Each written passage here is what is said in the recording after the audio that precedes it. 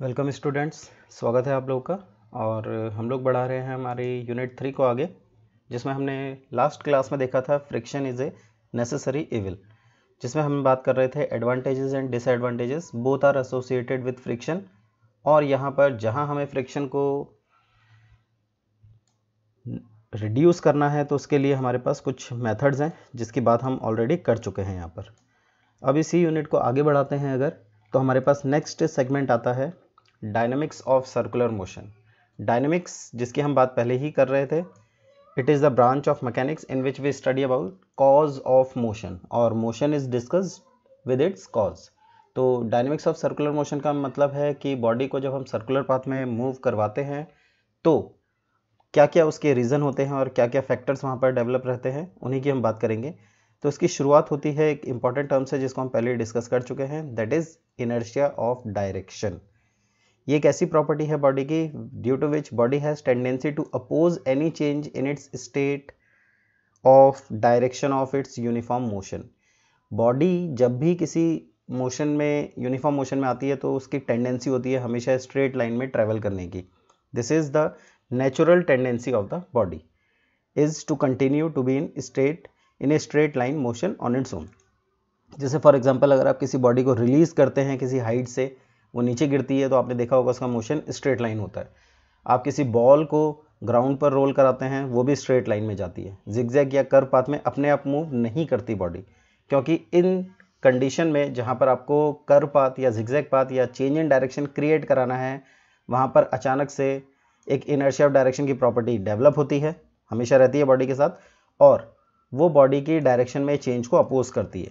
अगर आप चाहते हैं कि चेंज कराना है to provide change in direction जैसा कि सर्कुलर मोशन में होता है या कर्व पाथ में होता है we require some additional force which can adjust the value of inertia of direction inertia of direction को अपोज करने के लिए हमें कुछ एक्स्ट्रा फोर्स की ज़रूरत पड़ती है, जिसको हम यहाँ पर कहते हैं centripetal force it should act on the body continuously ये लगातार बॉडी पर लगना चाहिए and its direction is always towards the centre of circular path जैसे कि एग्ज़ाम्पल है हमारे पास इसमें हमारे पास ये एक बॉल है, जिसको एक स्ट्रिंग से बाँध कर घुमाया जा रहा है। तो यहाँ से होल्ड किया होगा इसको, और हम इसको खींच रहे हैं, घुमा रहे हैं सर्कुलर पाथ में तो ये तभी हो सकता है जब ये टेंशन इसमें डेवलप हो रखी हो। अगर आप कुछ ऐसी सिचुएशन बना दो कि यहाँ पर टेंशन डेवलप नहीं है, या आप यहाँ से इस वायर को जहाँ से होल्ड किया हुआ है, इसको छोड़ देंगे तो आप जानते हैं ऐसे केस में बॉडी सर्कुलर पाथ में नहीं घूमती, बल्कि टेंजेंट बनाकर स्ट्रेट निकल जाती है। तो यहाँ पर कॉन्सेप्ट है कि ये बॉडी को सर्कुलर पाथ में घुमाने के लिए कंटिन्यूसली बॉडी पर सेंटर की तरफ़ एक फोर्स होगा जो यहाँ पर टेंशन के थ्रू आएगा। Here tension T is providing the necessary force and that force is known as centripetal force centripetal force ये वो नेसेसिटी है जो हमें सर्कुलर पाथ में बॉडी को मूव करवाने के लिए चाहिए। क्यों चाहिए? क्योंकि बॉडी के पास टेंडेंसी है इनर्शिया ऑफ़ डायरेक्शन की, उसके पास नेचुरल टेंडेंसी है स्ट्रेट लाइन में मूव करने की।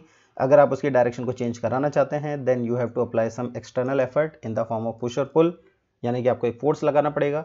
यहाँ जो फोर्स हमें नीड होगी जिसकी डायरेक्शन चेंज कराने के लिए, उसको हम बोलते हैं सेंट्रीपीटल फोर्स तो जैसे हमारे एग्ज़ाम्पल में ये टेंशन के थ्रू मिल रहा है। अगर आप इसी को आप अज्यूम कर लो this is electron which is revolving around nucleus तो यहाँ पॉजिटिव चार्ज न्यूक्लियस इस इलेक्ट्रॉन को अट्रैक्ट कर रहा होगा, और वहाँ पर इलेक्ट्रिक फोर्स आपका काम करेगा। किसका? सेंट्रीपिटल फोर्स का।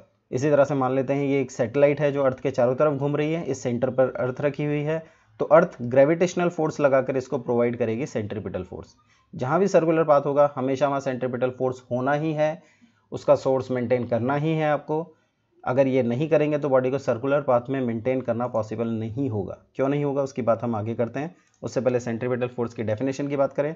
तो it is the force necessarily required to bring a body in circular motion body को सर्कुलर मोशन में रखने के लिए एक नेसेसरी फोर्स हमें ज़रूरत है, जिसकी नाम है सेंट्रीपिटल फोर्स। फॉर्मूला होता है मास इंटू सेंट्रीपिटल एसलरेशन और ये वही फैक्टर है जिसको हम लोग सेकेंड यूनिट के एंड में देख चुके हैं। वहाँ हमने देखा था, बॉडी को जब भी हम सर्कुलर पाथ में घुमाते हैं then there is continuous change in direction अगर बॉडी यूनिफॉर्म मोशन में भी है, यूनिफॉर्म सर्कुलर मोशन भी बना रखा है तो भी बॉडी की कंटिन्यूस चेंज इन डायरेक्शन की वजह से बॉडी पर एक एसलरेशन क्रिएट होता है, जिसका नाम है सेंट्रीपिटल एसलरेशन वही एसलरेशन प्रोवाइड करता है सेंट्रीपिटल फोर्स या आप कह सकते हैं कि सेंट्रीपिटल फोर्स की वजह से ही ये एसलरेशन क्रिएट होता है। तो F is equals to M into A C जिसमें ए सी का फॉर्मूला हमने प्रूव किया था वी स्क्वायर बाय आर तो ये बन जाता है M V square by R या फिर आर ओमेगा स्क्वायर था तो एम आर ओमेगा स्क्वायर और एम वी ओमेगा ये सारे फॉर्मूले हमारे सेंट्रीपिटल एसलरेशन के लिए हैं। ऐसा यूनिट न्यूटन क्योंकि ये क्वांटिटी है फोर्स, आप चाहें तो ये एक्सप्रेशन पॉज करके नोट कर सकते हैं। यहाँ से। Then this then this part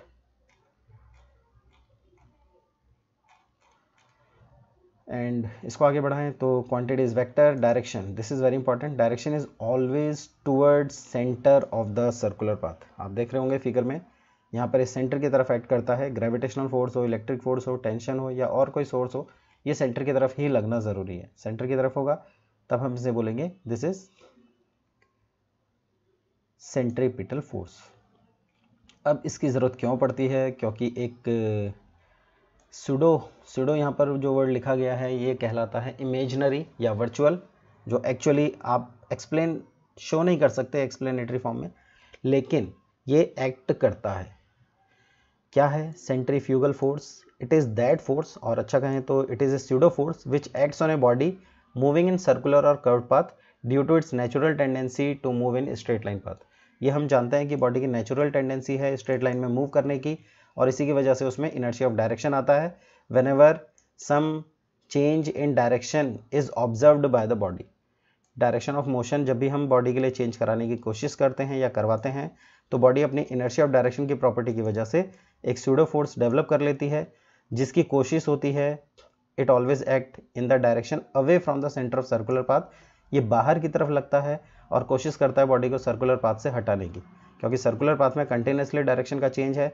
inertia of direction इसको अलाउ नहीं करना चाहता तो उसको एक ज़रूरत है एक फोर्स की, जो अपनी प्रॉपर्टी अपनी नेचुरल टेंडेंसी की वजह से गेन करता है और बॉडी को सर्कुलर पाथ से बाहर निकालने की कोशिश करता है। तो यही एक तरह से एक ऐसा फोर्स है जिसको बैलेंस करने के लिए हमें सेंट्रीपिटल फोर्स की ज़रूरत पड़ती है, क्योंकि सेंट्रीफ्यूगल फोर्स को अप्लाई करने के लिए आपको किसी सोर्स की ज़रूरत नहीं है। ये बॉडी के नेचुरल टेंडेंसी की वजह से हमेशा आएगा।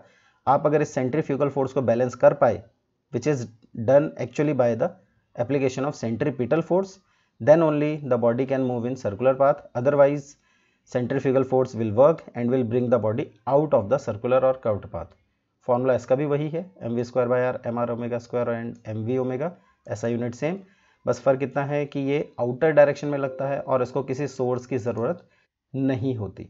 यहाँ पर इसको किसी सोर्स की ज़रूरत नहीं है। यहाँ पर ये डायरेक्टली एक्ट करता है। हमें सेंट्रीपिटल फोर्स का सोर्स ज़रूर बनाना पड़ता है so that we can balance centrifugal force quantity vector है direction is always from away from the centre of circular path तो आप चाहें तो इसको भी पॉज करके नोट कर लें। आगे बढ़ाते हैं फिर। अब ये कहाँ और क्यों इसकी ज़रूरत पड़ती है, ये हम पहला टॉपिक लेकर चलते हैं लीनिंग और bending of cyclist on a curved road hopefully आप सभी लोग साइकिल चलाना जानते हैं और ये भी जानते हैं कि जब भी आप किसी कर्व या टर्न पर आते हैं कर्व पाथ या टर्न या सर्कुलर ट्रैक में अगर साइकिलिंग कर रहे हैं या टू व्हीलर भी चला रहे हैं तो उस सिचुएशन में body has tendency to always bend towards the centre of that curve path from its vertical position in order to maintain his balance जो भी बाइकर या साइकिलिस्ट है, उसको अपनी वर्टिकल पोजीशन से थोड़ा सा बेंड होना पड़ता है towards centre of the curve path so as to maintain his balance उसका कारण यही है कि वहाँ कर पाथ में घूमते ही सेंट्रीफ्यूगल फोर्स एक्ट करने लगता है। उसको बैलेंस करने के लिए सेंट्रीपिटल फोर्स चाहिए। कैसे होता है, इसको यहाँ समझ लेते हैं। ये हमारा जो फिगर है, ये इंडिकेट कर रहा है सेंट्रीफ्यूगल देखेंगे, ये साइकिलिस्ट है, जिसका वेट है नीचे की तरफ़, ये ब्लू लाइन में दिखाया गया एमजी उसके अगेंस्ट में बैलेंसिंग रिएक्शन है normal reaction R body circular path में घूम रही है कर पाथ में घूम रही है, और कर पाथ में घूमने का मतलब है बाहर की तरफ़ सेंट्री फ्यूगल फोर्स होगा। यहाँ अंदर की तरफ़ कोई सोर्स नहीं है। Without bending R is is equal to M G balancing each other and no centripetal force is there so the cyclist में फॉल डाउन ये नीचे गिर सकता है अब इससे बचने के लिए साइकिलिस्ट को क्या करना है? ये है हमारी सिचुएशन आप देखेंगे ऊपर वाली फिगर से कंपेयर करेंगे तो अब की बार साइकिलिस्ट आर रिएक्शन के साथ थोड़ा सा बेंड हो गया वर्टिकल डायरेक्शन से थीटा एंगल पर। इसके थीटा एंगल पर बेंड होने का फ़ायदा क्या हुआ? वेट तो नीचे की तरफ़ ही होगा हमेशा ग्राउंड की तरफ़ एम लेकिन ये आर अपने एंगल पर आ गया है और एंगल पर आने की वजह से ये वेक्टर क्वांटिटी है, इसको हम रिजॉल्व कर सकते हैं। Centrifugal force as it is काम कर रहा है वेट एज इट इज़ काम कर रहा है। पहले वाले केस में आर एम जी से बैलेंस हो गया था सेंट्री फ्यूगल को बैलेंस करने वाला कोई नहीं था। अभी क्या हुआ है, ध्यान से देखेंगे आर को हमने थीटा एंगल पर रिजॉल्व कर दिया। तो थीटा एंगल पर रिजॉल्व करके ये बन गया horizontal component R cos theta और ये अंदर की तरफ़, क्योंकि आर कॉस थीटा के साथ 90 रखना है और कैपिटल आर को बीच में भी लेकर आना है दोनों कंपोनेंट के। तो आर साइन थीटा इधर ही बनाना पड़ेगा और आप देख रहे हैं ये सर्कल है तो ये यहाँ कहीं सेंटर होगा। सेंटर ऑफ़ सर्कुलर पाथ की तरफ़ आर साइन थीटा आया है and this will balance centrifugal force by acting as centripetal force यही बात हम यहाँ लिखने जा रहे हैं। आप इस फिगर को पॉज करके ड्रॉ कर सकते हैं। तो हम यहाँ पर यही बात लिखने जा रहे हैं कि ऑन बेंडिंग और leaning by angle theta from the vertical the normal reaction R gets resolve as horizontal component is R cos theta it is balancing weight of the body ये आर कॉस थीटा है, ये wait M को balance कर रहा है। तो हमने equate कर दिया R cos theta is equal to M G and vertical component R sine theta it provides necessary centripetal force. So, vertical component will be centripetal force. Vertical component is r sin theta, which is mv square by r. दोनों equations का ratio करेंगे second by first तो R से R cut जाएगा। Sine theta upon cos theta tan theta बनता है।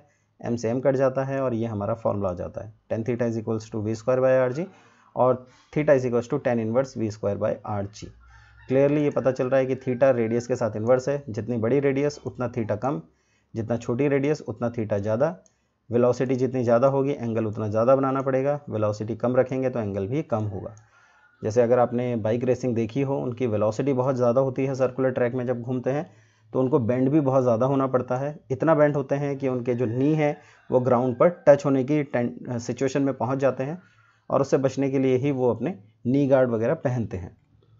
तो यहाँ पर ये एक्सप्लेन कर रहा है कि क्यों हमें सेंट्रीपिटल फोर्स की ज़रूरत पड़ रही है आर रिजॉल्व होकर आर साइन थीटा बनता है, जो सेंट्रीफ्यूगल फोर्स को बैलेंस करेगा।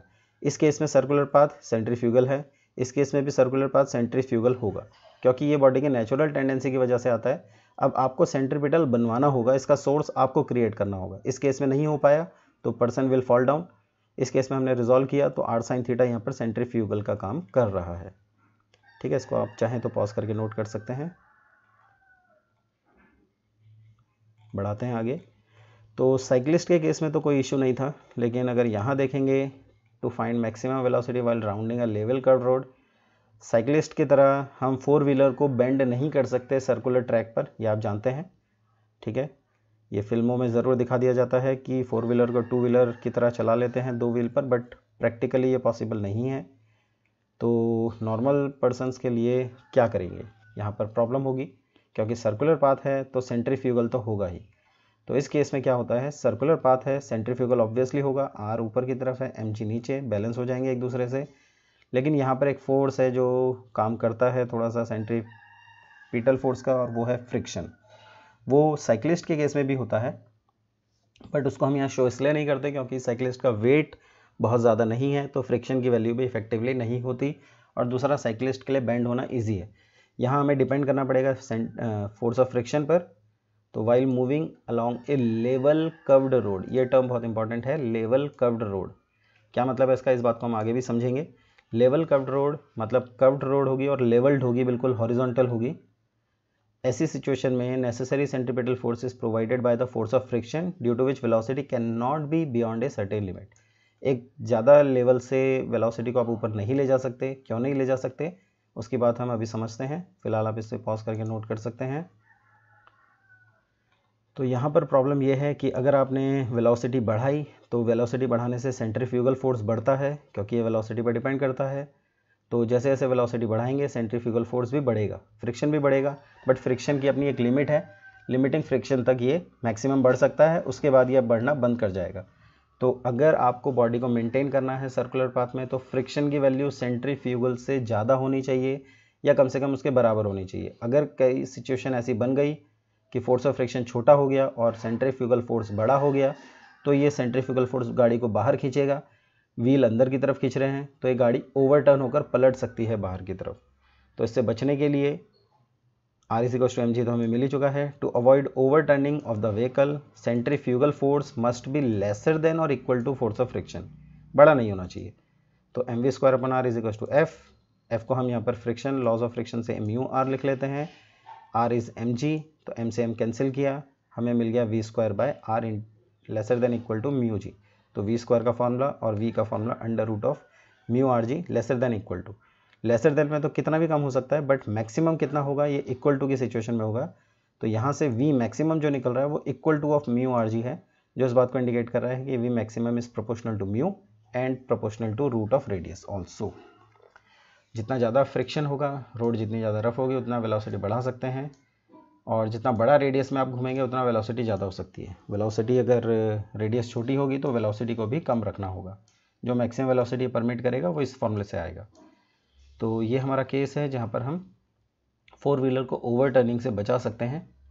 तो आप चाहें तो इसे पॉज करके नोट करेंगे।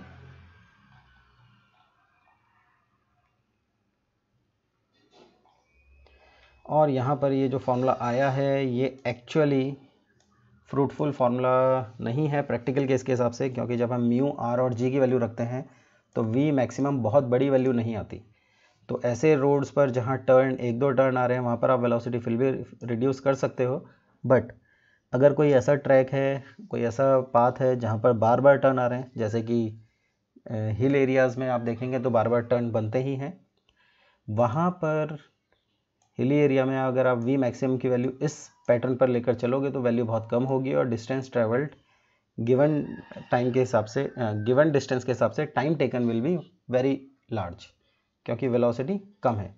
तो इस बात से बचने के लिए या इसको मैनेज करने के लिए क्या करते हैं?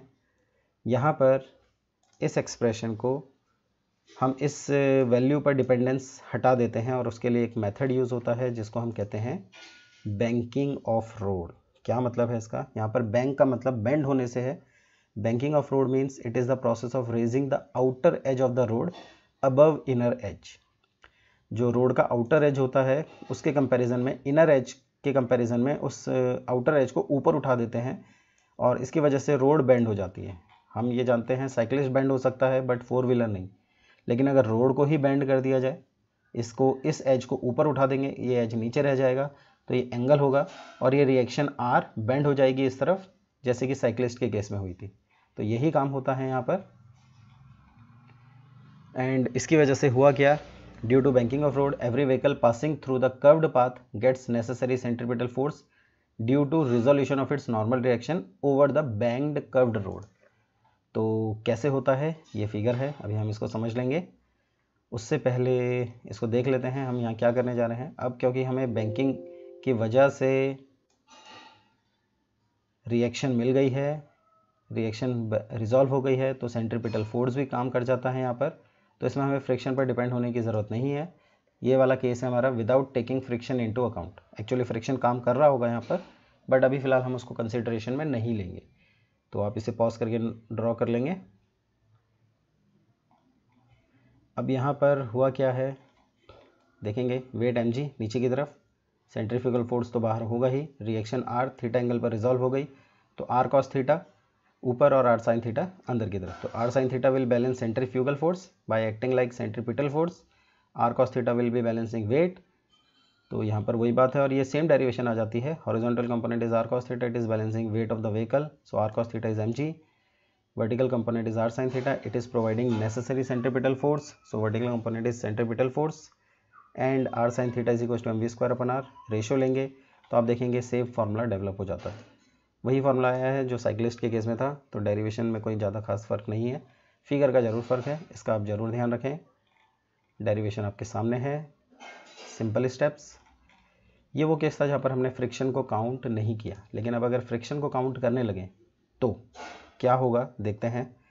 सेम फिगर है, इसमें ब्लैक वाले पोर्शन को अगर आप कंपेयर करेंगे तो वो यहाँ नहीं था। ये एडिशनली ब्लैक वाला लाइन से जो बनाया गया है, ये है फ्रिक्शन रोड और टायर के बीच में इस तरफ़ होगा, क्योंकि ड्रैगिंग आउटवर्ड है तो ये फोर्स ऑफ़ फ्रिक्शन होगा, रोड और टायर के बीच में। तो इसको हमने यहाँ ट्रांसफ़र किया एंगल पर दिखाने के लिए। ये एंगल भी सेम रहेगा थीटा जितना एंगल ये है थीटा आप समझ रहे होंगे अल्टरनेट एंगल से आ गया है। और अगर ये force of friction theta angle पर है तो फोर्स ऑफ़ फ्रिक्शन भी रिजॉल्व होगा। सेंट्रीफ्यूगल बाहर एम सेंट्रीफ्यूगल बाहर है। वेट एम जी ये ब्लू वाला वेट एम जी है, नीचे की तरफ़ है। और जो आर कॉस थीटा है, ये ऊपर आ गया आर को रिजॉल्व करने के बाद और आर साइन थीटा अंदर की तरफ़। दूसरा जो फोर्स ऑफ़ फ्रिक्शन था, उसने भी थीटा एंगल पर रिजोल्यूशन दिया और एफ़ कॉस थीटा और नीचे की तरफ़ एफ़ साइन थीटा तो अब आप देखेंगे एफ़ साइन थीटा एम के साथ ऐड हो जाएगा सेम डायरेक्शन में है। तो आर कॉस थीटा को दोनों को बैलेंस करना होगा और आर साइन थीटा के साथ फोर्स ऑफ़ फ्रिक्शन का कंपोनेंट आ रहा है एफ़ कॉस थीटा ये सेंट्रीपिटल फोर्स प्रोवाइड करने में हेल्प करता है। तो अब की बार सेंट्रीफ्यूगल को और अच्छे से हम बैलेंस कर पाएँगे। तो अगर हम यहाँ पर इसको स्प्लिट करते हैं तो due to banking of road by angle theta horizontal के साथ है थीटा तो नॉर्मल डायरेक्शन आ रहा and force of friction gets resolve as कैसे कैसे हुआ है फिगर आपके सामने है। पॉज करके ड्रॉ कर सकते हैं। आर को रिजॉल्व किया तो horizontal component R cos theta vertical component is R sine theta horizontal component F cos theta vertical component F sine theta तो बॉडी से फ्री बॉडी डायग्राम अगर हम बनाएँ एफ़ का मतलब यहाँ पर फ्री बॉडी डायग्राम है। इसमें हम ये कार को हटा देंगे यहाँ से और इस पॉइंट से सिर्फ़ फोर्सेस की डायरेक्शन को शो किया जाएगा। तो फोर्सेस के डायरेक्शन को अगर आप यहाँ से टैली करेंगे तो ये मिलेगा आपको कुछ ऐसा। ये रहा। रोड वगैरह हम सब हटा चुके हैं यहाँ से। इस पॉइंट पर आर था। इसका भी अब कोई रोल नहीं है, क्योंकि आर कॉस थीटा और आर साइन थीटा आ गया। ये एफ़ था थीटा एंगल पर इसका भी कोई रोल नहीं रहेगा क्योंकि अब एफ़ कॉस थीटा और एफ़ साइन थीटा हम यहाँ लेने वाले हैं। सेंट्रीफ्यूगल अपनी जगह पर एम अपनी जगह पर। तो फिगर से क्लियरली ये दिख रहा है। ये फिगर हमें क्लियरली ये बता रहा है कि जो आर कॉस थीटा है this is balancing F sine theta plus M तो इससे हमने एम का फॉर्मूला बना लिया R cos theta minus F sine theta उसके बाद सेंट्रीफ्यूगल फोर्स की बात करेंगे तो ये F cos theta plus R sine theta से बैलेंस हो रहा है। उसका formula M V square upon R रखेंगे। इक्वेशन आ रही है। एम जी और M V square upon R का रेशो लेंगे तो पहले की तरफ़ V square upon R G. Equation आपके पास आई गई है रेशो में। ऊपर और नीचे न्यूमरेटर और डिनोमिनेटर दोनों को हमने कॉस थीटा से डिवाइड किया। तो ये बन जाता है R sine theta upon cos theta यानी R tan theta F cos cos balance हो जाएँगे तो एफ़ बचेगा। आर कॉस कॉस बैलेंस हो गया आर बचा और F sine upon cos tan बचा। तो ये expression V square by R G. R tan theta plus mu R is upon में R minus mu R tan theta ये क्या किया हमने? एफ़ की वैल्यू को लॉज ऑफ़ फ्रिक्शन से म्यू आर लिख दिया म्यू आर लिख दिया। आर कॉमन लेकर कैंसिल करेंगे तो ये हमारा फॉर्मूला आ जाता है। इसमें म्यू इन्वॉल्व है। अगर आप फ्रिक्शन को कंसिडर नहीं करते हैं तो ये म्यू ज़ीरो होगा। तो यहाँ से सिर्फ़ टेन थीटा बचेगा V square upon R G और यही फॉर्मूला हम विदाउट फ्रिक्शन में प्रूव कर चुके हैं। यही फॉर्मूला आया था। तो ये सिंपल डेरिवेशन है। आप इसको भी पॉज करके नोट कर सकते हैं। फिगर आप बना ही चुके होंगे। ये पोर्शन है। Then this part free body diagram and derivations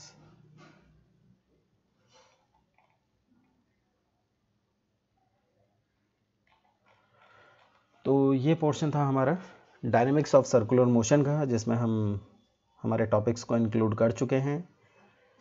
इसको बहुत अच्छे से पढ़ना है इंपॉर्टेंट कैटेगरी है और बहुत सारी इन्फॉर्मेशन ये हमें देता है। तो इसी के साथ हम इस यूनिट को यहीं पर कंप्लीट कर रहे हैं। मिलेंगे आपसे अगली क्लास में, जिसमें आपके लिए लेकर आएँगे नेक्स्ट कॉन्सेप्ट नेक्स्ट यूनिट के। Till then take care goodbye